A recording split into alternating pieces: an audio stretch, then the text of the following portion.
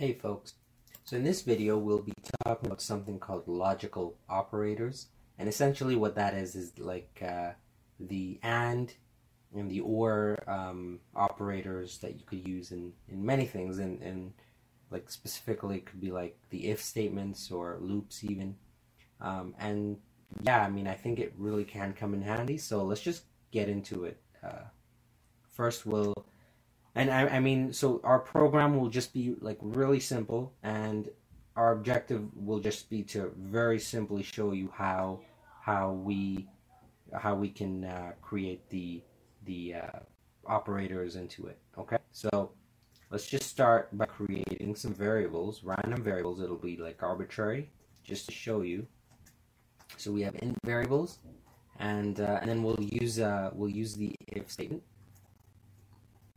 and we'll just say that um, if system dot so if system dot out dot print line so if this if, if condition is met then we'll we'll print out oh no okay? So if this condition is met we'll do oh no. Now in the previous uh, videos if you've seen them we only had essentially like one like condition right? We had like one condition, and if this condition was met, then you can do whatever's inside. Um, but in terms of the logical operator, so what we can start with is the AND operator.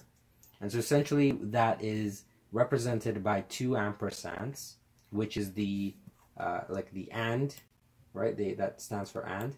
And so uh, that's, you can do that by shift seven and so you need two of those and that you can like li like literally just translate these two to and okay?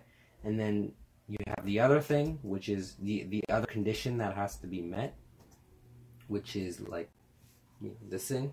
So in this case our our if statement can be read out as if count is less than zero and money is less than zero then do the following okay? And so both of these conditions have to be met because it's an and. So both of these conditions have to be met if you want to do this. Now, if so, in this case, both of these conditions are met, right? So if we compile it and we can, um, it should say, "Oh no." Okay, so that that was from a thing before. So if I just clear that and do it again, so "Oh no." Okay. So both of these conditions were met, so works out. Now, if only one of the conditions is met, so let's say uh, money is actually 3 and not negative 3, meaning money is actually more than 0.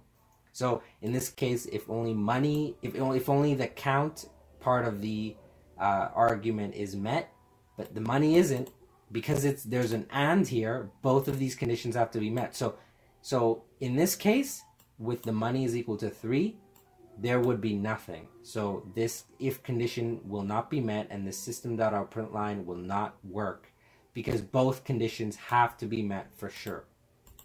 Uh, the other type of condition, so I, guess I can just contrast it to you. So this is this is the and one. So in this case, um, this would not work.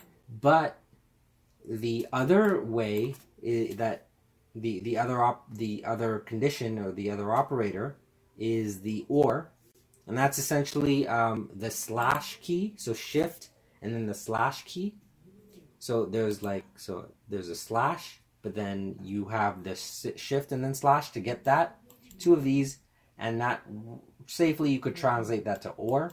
And so in this case, if count is less than zero, or if money is less than zero, then you can do the following.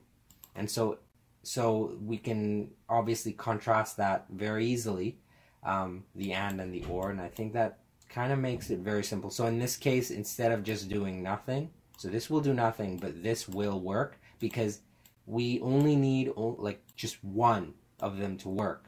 And so if there was another thing like, uh, you know, another operator that said some random other variable, it doesn't matter.